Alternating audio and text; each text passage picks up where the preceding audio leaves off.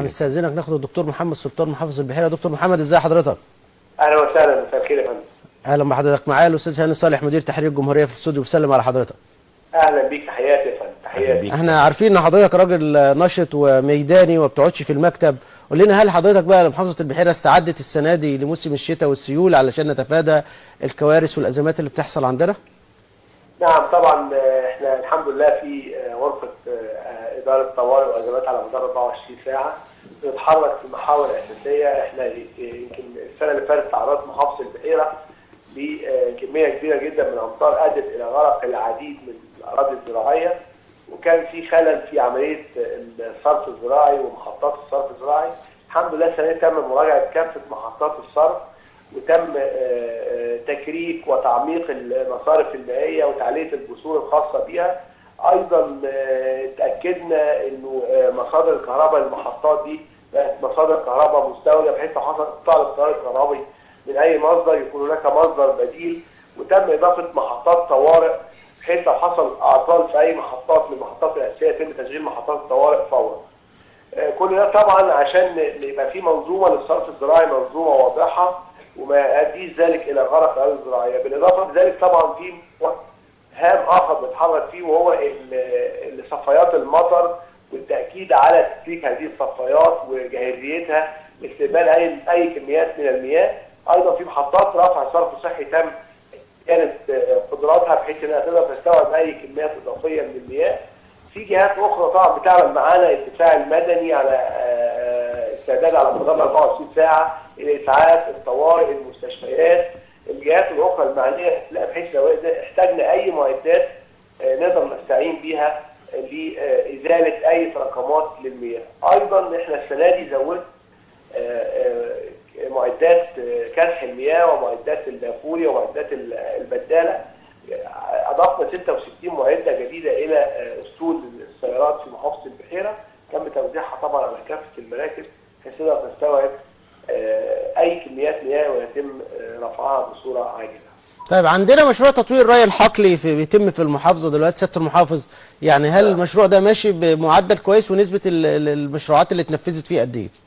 الحمد لله إحنا في مشروع الري الحقل يعني مشروع بيتكلف في 115 مليون دولار. ده دعم من آه، جهات خارجية بالتعاون مع الحكومة المصرية. خلصوا 70% من المشروع. المشروع ده طبعا بيعتمد على آه، ترشيد مياه الري. والري من خلال شبكة ري مطو- مطور وده بيؤدي إلى آه، تخفيض كميات المياه المستخدمه في الري بنسبة تزيد عن 50% وأيضا زيادة إنتاجية المحاصيل الأراضي اللي بتزرع بهذه الطريقة أكثر آه، آه، حوالي 20% فهو يعني بيفيدنا في ترشيد المياه وفي نفس الوقت زيادة إنتاجية المحصول. الحمد لله خلصنا 70% آه، من المشروع. كان عندنا زيارة من البنك الدولي خلال الأسبوع الماضي. وعينوا الجزء اللي انتهى الحمد لله في آه، تقدير لما تم الانتهاء منه آه، في محافظة البحيرة.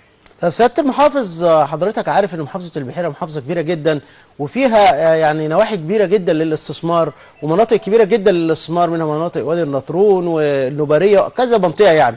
وكان لجنة الاسترداد أراضي الدولة كانت منحت المحافظة التعامل على مساحات كبيرة من آلاف الأفدنة في وادي النطرون. هل سيادتك لديك خطة ورؤية بقى للتعامل ووضع اشتراطات لتمليك هذه الأراضي لوضيع اليد فيها؟ أو سيادتك مخطط تعمل إيه في هذه المساحات؟ آه طبعا زي ما حضرتك قلت محافظة البحيره من المحافظات الكبيرة والواعدة أيضا للناحيه الاستثماريه وزي ما حضرتك ذكرت عندنا منطقة وادي النطرون والنوباريه وأبو المطامير ومنطقة بدر وعندنا في في القطاع الشمالي كفر الدوار ورشيد وريدكو. كل هذه مناطق واعدة فيها فرص استثماريه كبيرة جدا.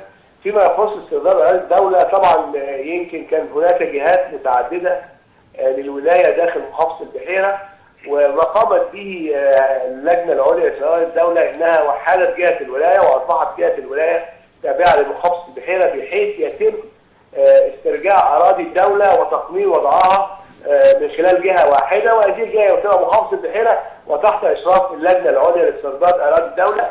وده الحمد لله بيتم جيده جدا بيتم تسعير الأراضي من خلال الهيئه العامة للخدمات الحكومية وبيتم آه، آه، التقنين مع وضيع اليد أو مع مالكي هذه الأراضي وعمل عقد نهائي لهم بس بحيث يتم آه، تسديد حقوق الدولة إلى حق إلى حساب حق الشعب من خلال اللجنة العليا لاسترداد أراضي الدولة. هيتم- هيتم ده- هيتم ده يا معالي الوزير وفق آه، حصر هيتعمل لوضيع اليد ولا هيتم إزاي يعني؟ آليات التنفيذ ده على أرض الواقع هتكون إزاي؟ فعليا إحنا بدأنا الحصر فعليا ويمكن انتهينا من 20000 فدان تقريبا وبتقوم الآن الهيئة العامة للخدمات الحكومية بتسيير هذه الأراضي آه، وطبعا آه، لابد أن تكون هذه الأراضي فعلا هناك عمل وهناك زراعة تمت فيها وليست مجرد وضع يد كده بدون إجراء لابد أن يكون هناك استصلاح فعلي وحقيقي داخل هذه الأراضي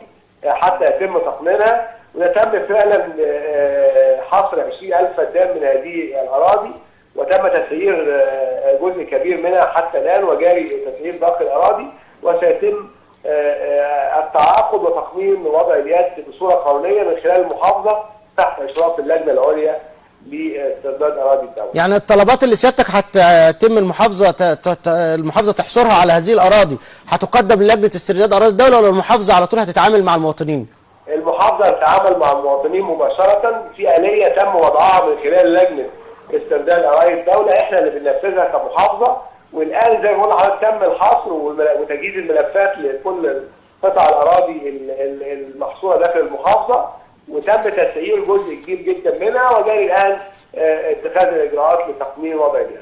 الأستاذ هاني صالح مدير تحرير الجمهورية عايز يسأل حضرتك سؤال. آه، سيادة المحافظ. معايا حضرتك؟ ألو؟ أيوه. سيادة المحافظ سامعني؟ ألو؟ اتفضل يا أستاذ هاني. آه حضرتك آه، آه، بالنسبة لمياه الأمطار اللي كل سنة ب- ب- بنقعد نتكلم عنها وبتغرق المدن ال- المصرية هل عندنا مواصفة للطرق. آه، نقدر نطبقها بحيث آه، آه، تستقبل مياه الأمطار وتصرفها في بلوعات. المصريه ما تغرقش في هذه الأمطار ولا ما عندناش؟